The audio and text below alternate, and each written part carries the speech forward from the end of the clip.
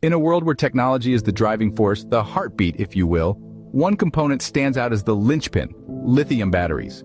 With the power to fuel our devices, these little powerhouses are the unsung heroes of our modern era. Now imagine a city, not just any city, but a city of the future. The city where every device, every vehicle, and even the buildings themselves are powered by lithium batteries. A city where the air is cleaner, the energy is greener, and the future is brighter. The value of lithium batteries in this urban development cannot be understated. They offer a sustainable, efficient energy solution, reducing our reliance on fossil fuels and paving the way for a greener tomorrow. So, as we stand on the precipice of this brave new world, let's take a moment to appreciate the humble lithium battery. It's more than just a battery, it's a beacon of hope, a symbol of progress, and the key to unlocking a future we can all look forward to. Here's to the power of lithium, the energy of the future, a future that starts today.